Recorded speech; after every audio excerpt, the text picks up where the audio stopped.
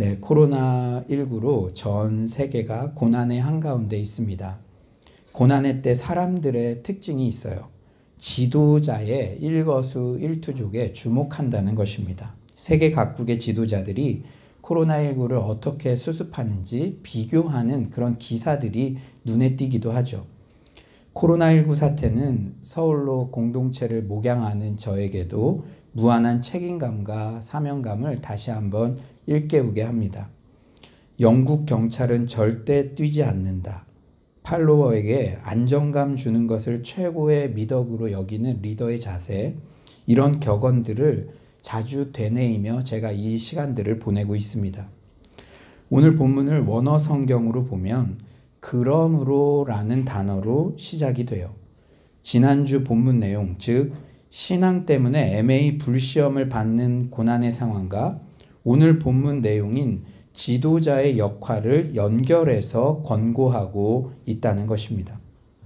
믿음 때문에 애매히 고난받는 세상에서 성도님들이 어떻게 승리하느냐의 문제는 지도자들의 역할과 밀접한 관련이 있다는 것이 노사도 베드로의 생각입니다.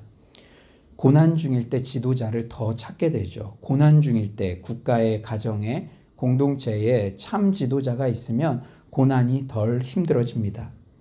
우선 우리가 1절을 한번 읽어볼까요? 1절입니다. 시작.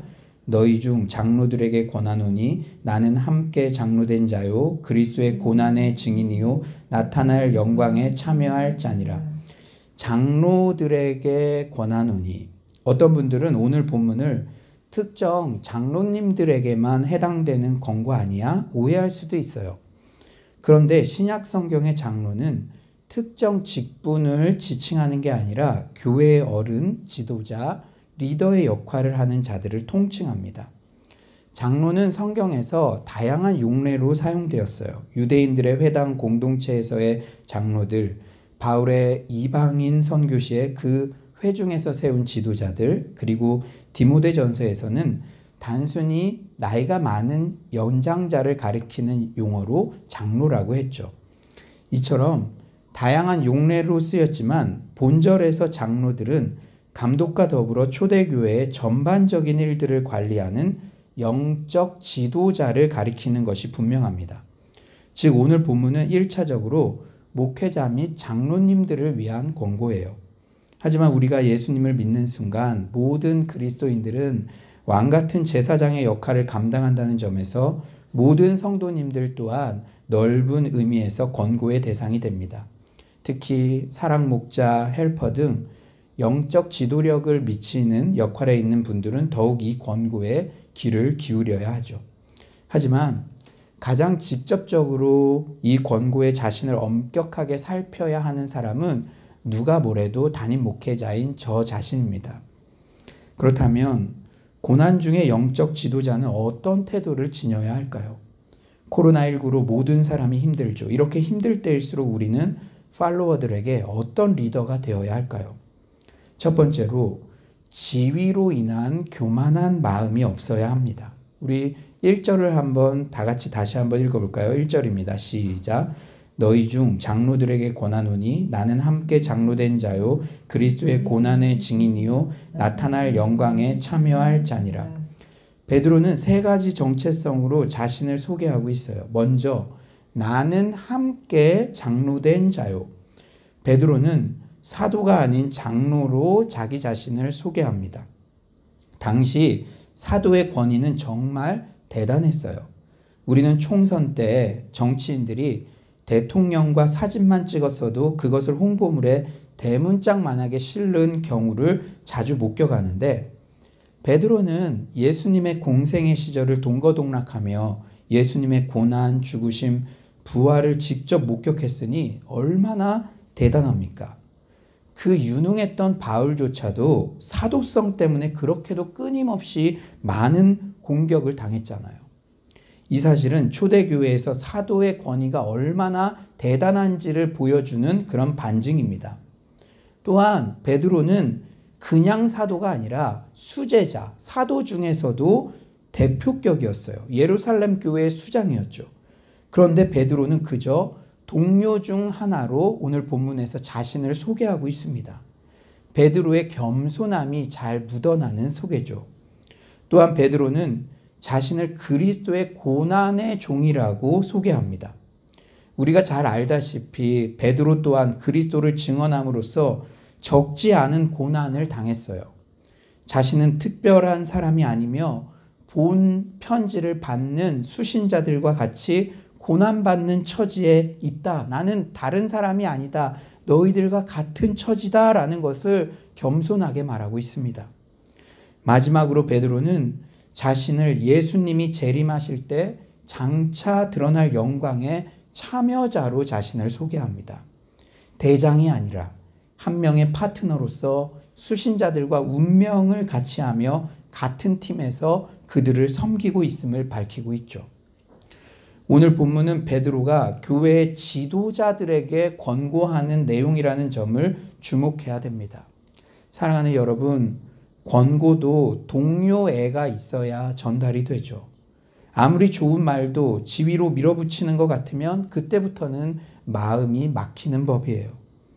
권고에 기계적으로 고개는 끄덕일지언정 마음으로 동의하지는 않게 되죠. 노사도 베드로가 다른 교회 지도자들과 자기 자신을 동일시한 것이 참으로 겸손하고 지혜로운 태도입니다. 우리가 지금 고난의 때를 함께 걸어가고 있어요. 특히 고난의 때 공감 능력이 떨어지는 지도자들을 보면 안타까워하곤 합니다. 고난의 때일수록 이해, 이해라는 단어의 영어 뭐죠? understand. 아래로 내려가 서야 합니다. 겸손히 백성의 자리로 들어가서 공감과 동료애로 무한한 무장한 그런 지도자가 참으로 필요한 시기를 우리는 지금 보내고 있습니다. 고난 중에 특별히 요구되는 지도자의 태도, 둘째는 목자의 마음이 있어야 한다는 거예요. 평안할 때는 참된 지도자인지 사꾼인지 구분이 안 되지만 고난 중일 때는 참 목자의 심정을 지닌 지도자만이 양떼 곁에 남기 때문입니다. 그러니까 고난 중일수록 우리는 목자의 심정을 지닌 그런 영적 지도자가 돼야 된다는 것이죠. 코로나19 지금처럼 다 같이 고난을 당할 때일수록 나는 사꾼이 아니라 참 목자다라는 정체성을 계속 되뇌어야 합니다. 2절에 이렇게 말씀하세요. 너희 중에 있는 하나님의 양무리를 치되 억지로 하지 말고 하나님의 뜻을 따라 자원함으로 하며 더러운 이득을 위하여 하지 말고 기꺼이 하며 베드로는 교회 지도자 직분을 목자의 관점에서 이해하고 있어요. 교회 지도자는 양떼를 먹이는 목자다. 어떻게 이런 관점이 베드로에게 체화되었을까요? 오버랩 되는 장면이 있죠. 베드로가 인생의 바닥을 칠 때 절대 절망의 상황에서 부활하신 주님으로부터 다시 사명을 받는 그런 장면입니다. 요한복음 21장 17절 세 번째 이르시되 요한의 아들 시모나 너가 나를 사랑하느냐 하시니 주께서 세 번째 너가 나를 사랑하느냐 하심으로 베드로가 근심하여 이르되 주님 모든 것을 아시오매 내가 주님을 사랑하는 줄을 주님께서 아시나이다. 예수께서 이르시되 내 양을 먹이라. 그런데 중요한 것은 하나님의 양무리를 치되라는 표현이에요. 소속을 정확히 해야 합니다. 양의 소유권은 분명히 하나님께 속해 있죠. 우리는 양무리를 돌보는 직임을 가졌을 뿐입니다. 하나님의 양을 내 양으로 만들려는 타락한 본성과 끊임없이 싸워야 하죠. 중요한 문제가 생겼을 때 양이 하나님의 말씀을 최우선적으로 따르려고 노력해야지 내 얼굴이 가장 먼저 생각나게 하고 매사에 나만을 의존하게 그렇게 통제해서는 안 된다는 것입니다. 또한 여러분이 양의 입장에 있다면 어떤 큰 문제를 결정하려 할 때 하나님 앞에 나아가 기도하기에 앞서 어떤 사람과 먼저 상의해야만 한다면 지금 이미 그렇게 이렇게 나도 모르게 그렇게 되었다면 그 사람을 멀리해야 합니다. 누군가 나의 영혼을 얽어, 얽어매고 있다면 그 모양이 신앙이고 믿음이라 해도 그는 사꾼이며 양의 탈을 쓴 이리일 뿐이죠. 바른 목자였던 바울은 내가 너희를 그리스도와 중매하게 하려 한다라고 말했습니다. 최고의 목자는 하나님 한 분뿐이죠. 우리는 부하 목자들로서 대장 목자를 본보기 삼고 감화를 받으면서 신실하게 섬겨야 하고 우리 또한 그리스도께 양이라는 사실을 언제나 잊어서는 안 돼요. 교회의 지도자들은 하나님께서 그들에게 맡기신 약물이 하나님께서 맡기신 거예요. 나를 내가 자격이 없지만 충성되이 여기셔서 나에게 맡기신 약물이 곧 성도를 먹이고 돌봐야 하는 목자라는 철저한 자각을 가져야만이 자신에게 주어진 하나님의 사역을 잘 감당할 수가 있습니다. 이제 베드로는 교회 지도자는 목자라는 관점에서 목자에게 필요한 세 가지 구체적인 자세를 권면해요. 목자가 가져야 하는 첫 번째 자세는 자원함입니다. 2절 상반절 억지로 하지 말고 하나님의 뜻을 따라 자원함으로 하며 주목할 점은 목자에게 필요한 세 가지 자세 모두 대조의 기법으로 강조하고 있어요. Not A but B. 먼저 억지로 함과 자원함이 대조됩니다. 억지로 함이라는 단어는 꽉 누르다라는 단어에서 파생되었어요. 어떤 외적 요인들에 의해 마음이 눌러진 상태에서 하는 것을 말하죠. 반면 자원함은 인간의 자발적인 열의가 반영되어 있습니다. 이 영적 리더들의 자원함에 대한 우픈 이야기가 있어요. 웃지만 슬픈 이야기.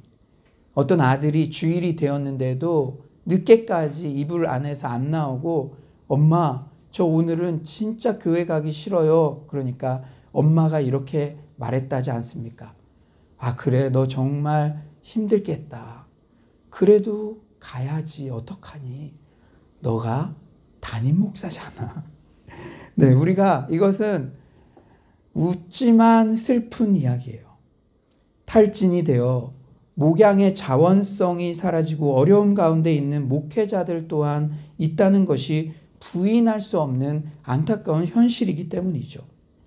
우리가 영적 리더들을 위해 기도할 때도 늘 willingness, 자원함으로 그 모든 사역을 감당할 수 있는 힘을 주시도록 중보하고 우리 또한 영적 리더들의 목양 사역에 힘이 될 수 있는 그러한 든든한 동역자들이 되어야 될 줄 믿습니다. 자원성은 아무리 강조해도 지나침이 없죠. 우리 교회의 첫 번째 목양 원리도 무엇이죠? 바로 자원성이에요. 홈페이지에 이렇게 소개되어 있습니다. 여러분 잘 들어보세요. 그리고 홈페이지가 예쁘게 세 단장 됐으니까 홈페이지에 와서 아, 우리 교회의 목회 원리가 무엇인지 이렇게 살펴보는 것도 믿음의 결을 맞추는데 너무나 중요하죠. 자원성. 복음은 모든 사역자들로 하여금 기꺼이 그리스도의 종의 삶을 만들게 하는 능력이 있다. 강요에 의해서나 혹은 어떤 직분에 의해서 움직이는 것이 아니라 구원의 은혜와 성령의 능력 안에서 주신 재능과 은사에 따라 자유롭게 섬기는 삶을 살게 한다.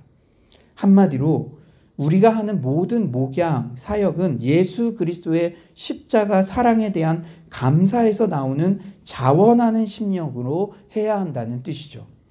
그런데 하나님의 뜻을 따라 자원함으로 하며 자원성으로 목양하되 하나님의 뜻을 따라라는 제한 조건이 있음을 명심해야 됩니다. 인간의 열심, 자원성 너무나 좋지만 그것이 오직 하나님의 뜻에 합당한 것이어야만 한다는 거예요. 자기 소견에 오른 대로 나오는 열심은 마치 바벨탑을 쌓는 것처럼 공동체, 본인은 열심히 했지만 오히려 공동체에 어려움을 줄 수도 있다는 것이죠. 목자가 가져야 하는 두 번째 자세는 바로 열정입니다.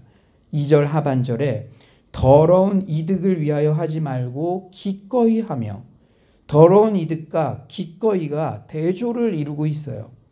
기꺼이라는 단어는 간절히 바라고 열망하여 라는 의미입니다.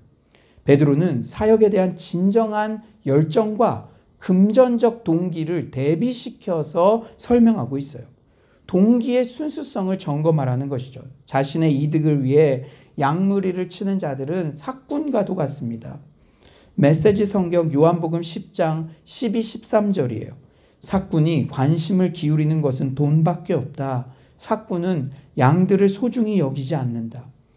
열매로 알리라 라는 교훈을 주는 마태복음 7장 15에서 20절은 사꾼 목자에 대해 더욱 적나라하게 밝히고 있어요. 제가 이 본문을 메시지 성경으로 읽으면서 주님, 저는 절대 그렇게 되지 않게 해주세요. 저도 연약한 존재입니다. 첫 마음을 끝까지 유지할 수 있게 해주세요. 고난의 때 더더욱 그렇게 기도하고 있습니다. 여러분, 한번 잘 들어보세요. 억지로 진실한 표정을 지으며 해프게 웃어대는 거짓 설교자들을 조심하여라. 그들은 이래저래 너희를 벗겨 먹으려는 수가 많다. 카리스마에 감동할 것이 아니라 성품을 보아라. 중요한 것은 설교자들의 말이 아니라 그들의 됨됨이다. 참된 지도자는 절대로 너희 감정이나 지갑을 착취하지 않는다. 썩은 사과가 열린 병든 나무는 찍혀서 불살라질 것이다. 한마디로 사꾼은 양떼를 위해서 자신이 무엇을 할 수 있는지보다 양떼가 그들을 위해서 무엇을 할 수 있는지에 더 관심이 많다는 것이죠. 하나님의 목자들은 자기를 희생하는 그 열정적인 자세를 가져야만 합니다. 단순히 섬기겠다는 의지가 아닌 가슴에서 우러나오는 진실된 열정이 있어야 되죠. 학벌이 좀 없고 재능이 좀 모자라도 괜찮습니다. 여러분, 교회가 세상과 기준이 똑같으면 안 돼요. 세상 사람들이 교회의 매력을 느끼는 이유가 무엇입니까? 세상과 다르기 때문이죠. 여러분, 학벌이 없고 교회 안에서는 재능이 좀 모자라도 괜찮습니다.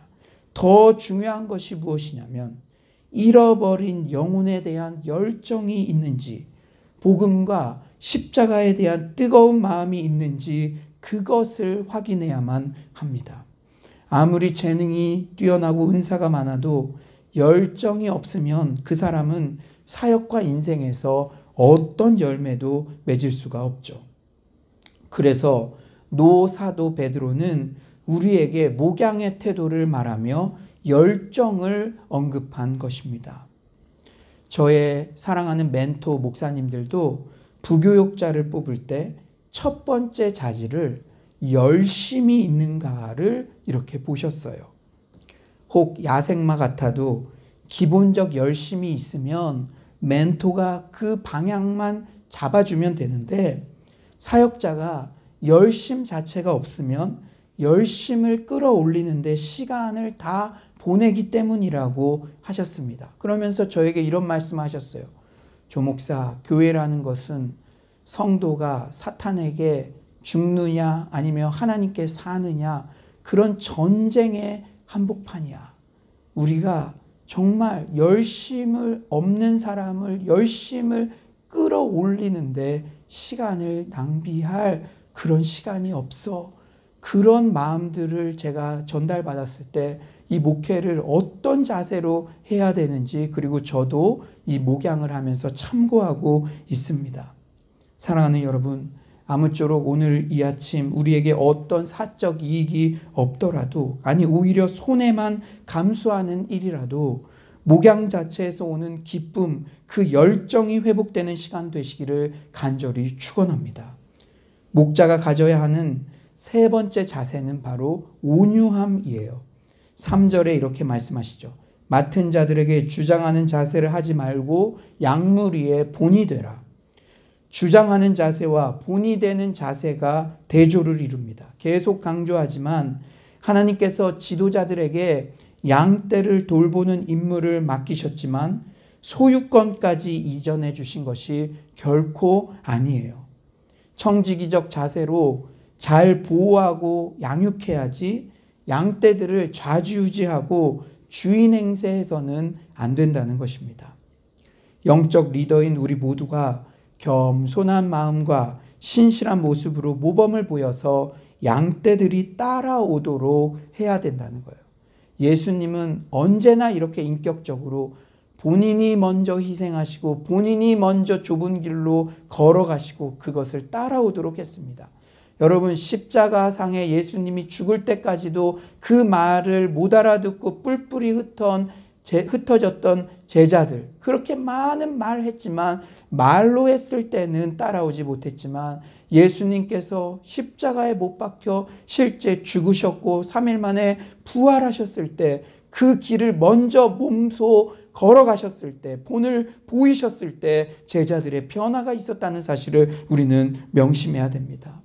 저는 서울로 공동체를 목양하면서 너무나 감사한 게 있어요.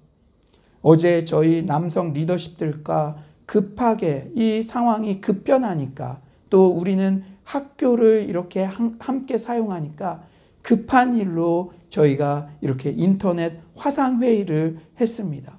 그런데 한 분한 한 분이 얼마나 교회를 사랑하는 마음, 성도를 사랑하는 마음, 그 마음들이 구구절절 느껴졌습니다. 우리 남성 리더십뿐 아니라 저는 감사한 것이 우리 서울로 공동체의 리더들 모두가 주중 예배나 주일 예배, 헌신과 봉헌 등 모든 면에서 모범이 된다는 사실에 참으로 감사드립니다. 지난 2년 동안 그리고 지난 4주 동안 우리가 또 예배를 이렇게 은혜롭게 드리고 또 지난 2년 동안 부흥의 은혜를 우리 서울로 공동체가 누릴 수 있었던 것은 이렇게 솔선수범하는 영적 리더들이 우리 서울로 공동체 곳곳에 있었기 때문인 줄 믿습니다. 그런데 이렇게 양떼를 돌보는 일은 참으로 힘든 일이에요. 여러분 이스라엘의 배경에서도 목자는요, 3D 업종이었습니다. 여러분, 손이 많이 가는 굳은 일이기도 하죠. 목양이라는 거, 양떼들을 돌보는 거. 저는 목회하기 전에 은행에서도 근무해 봤는데요. 창구에서도 많은 손님들을 이렇게 응대해 봤는데요. 저희들이 힘든 것이 감정 노동자라는 것이죠. 여러분, 은행의 창구에 있는 직원들은 어떻게든지 을의 입장입니다. 그렇기 때문에 어떤 좀 심한 말을 해도 일단은 그것을 받아줘야 되고 어떻게 큰 일이 되지 않게 하기 위해서 그 건건이 사람을 상대하는 게 참 쉽지는 않아요. 근데 이 목양이라는 것도 한 영혼 한 영혼의 상황과 또 그들의 말을 들어줘야 되고 품어줘야 되고 그들의 성장을 기다려야 줘야 되고 이것이 결코 쉬운 일이 아닙니다. 쉽다고 하면 교만이겠죠. 손이 많이 가는 그러한 굳은 일입니다. 그렇기 때문에 베드로는 교회 지도자들에게 하는 권고를 끝맺으면서 영원한 상급을 상기시키고 있어요. 베드로전서에서 계속 반복하여 강조하는 사실이기도 하죠. 우리의 진정한 위로와 소망은 예수 그리스도뿐인 줄 믿습니다. 4절에 이렇게 말씀하세요. 그리하면 목자장이 나타나실 때 시들지 아니하는 영광의 관을 얻으리라. 목자장 즉 예수 그리스도께서 재림하실 때 영광의 관을 주십니다. 영광의 면류관은 당시 로마 제국에 속한 사람들은 모두 다 쉽게 이해할 수가 있었어요.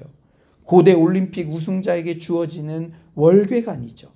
수만 명이 환호성하는 가운데 황제에게 직접 월계수 면류관을 받았습니다. 그때의 감격과 기쁨은 받아본 사람만이 알 수 있죠. 이처럼 양무리를 잘 돌본 목자들에게 예수님께서 영광으로 관 씌워 주실 때 모든 노고와 눈물이 다 사라지는 것이죠. 보상을 받게 되는 거예요. 사랑하는 여러분, 금메달 시상식장에서 금메달 수여자가 금메달을 받은 사람이 그렇게 기뻐하는 이유가 무엇입니까? 그 훈련의 어려움들이 주마등처럼 스쳐 지나가나 그 모든 것을 잊을 정도로 환희와 기쁨이 있기 때문입니다. 물론 목양을 하면 이 땅에서도 보람이 있어요. 성도들의 행복과 변화를 보게 될 때. 하지만 이 땅에서 그런 보상이 없어도 시들지 않은 영광의 멸류관, 주님 재림의 날 내 사랑하는 주님이 씌워주실 그 면류관 생각하면 다시 힘이 솟고 사명의 자리로 다시 나아갈 수가 있습니다. 오늘도 제가 그런 마음으로 이 자리에 섰어요. 주님, 살면 주의 일이요, 죽으면 천국입니다. 목양은 그 결과가 이렇게 하루빨리 막 빨리 보이는 거 아니고 어쩌면 지리하게 정말 가장 끝까지 더 레스트맨이 되어서 예배를 수종 들고 그런 것을 해야 되는 것이지만 때로는 힘들 때도 있지만 제가 주님 재림의 날 목자장 예수님께서 저에게 주실 상급을 바라보며 다시 일어서고 다시 이 사명을 감당할 수 있는 힘이 되는 줄 믿습니다. 이제 말씀을 정리하겠어요.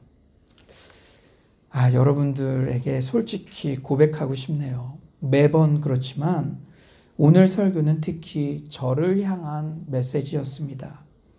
설교 한 문구 한 문구에서 눈을 뗄 수 없었고 제 자신을 점검하면서 아, 이거를 쓸 자신이 없는 문구도 있었지만 주님께 회개하는 마음으로 또 제가 다시 일어서겠습니다. 결단하는 마음으로 한 문장 한 문장 제 자신을 검증하면서 써내려갔기에 어느 때보다 오랜 시간이 걸렸습니다. 오늘 설교를 준비하며 주님께 드렸던 다짐의 기도가 있는데 제가 어떤 결론을 맺기보다는 오늘 설교를 준비하며 주님께 죄송한 마음, 회개하는 마음, 그리고 감사한 마음, 이런 부분은 그래 우연아 너 수고했다 위로받는 마음, 그런 복합적인 마음을 담아서 주님께 했던 다짐했던 기도로 오늘 설교를 맺겠습니다. 여러분도 함께 기도하는 마음으로 이 기도문을 함께 들으셨으면 좋겠어요. 주님, 코로나19의 고난 가운데 저는 과연 서울로 성도님들께 어떤 목자로 서 있는지요. 연로하신 나이 때문에 괜한 근심이 될까봐 방 안에서 두문불출하시는 어머님 아버님의 심정을 헤아리게 하소서. 좌절될, 좌절된 꿈을 딛고 다시 시작하려고 몸부림치는데 모든 세상이 정지해버려 다시 털썩 주저앉고 싶은 청년에게 용기를 주게 하소서. 가뜩이나 홀 믿음으로 근근히 신앙생활하고 있는데 코로나19로 교회에 대한 악의적 비판이 나올 때마다 가슴 쓸어내리는 한 여인의 심정을 이해하게 하소서. 한참 전부터 가게가 힘들었어도 애써 내색하지 않았지만 이제는 더 이상 버틸 겨를이 없어 보여 남몰래 눈물 흘리는 남자 집사님들의 눈물을 닦아주게 하소서. 주님, 제가 서울로 성도님들과 함께 고난받는 동료가 되게 하소서. 교만과 거만은 모양까지도 버리게 하소서. 고난의 때 제 자리를 묵묵히 지키는 참 목자 되게 하소서. 맹수의 위험에서 양떼를 구해오는 참 목자 되게 하소서. 자원함으로 열심으로 온유함으로 이 모든 일을 감당하게 하소서. 때론 지치더라도 대장 목자이신 예수 그리스도께 위로받게 하소서. 그리하여 사랑하는 성도님들이 2020년 코로나19 때문에 너무 힘들었지만 목사님 때문에 그래도 덜 힘들었다. 그런 따뜻한 기억으로 남을 수 있는 그런 목자 되게 하소서. 저의 이 기도가 이 시간 우리 모두의 마음에 함께 울려지기를 소망합니다. 아무쪼록 코로나19의 고난 가운데서도 우리 모두가 누군가에게 이런 참 목자로 기억되는 서울로의 모든 영적 리더 되시기를 간절히 축원합니다.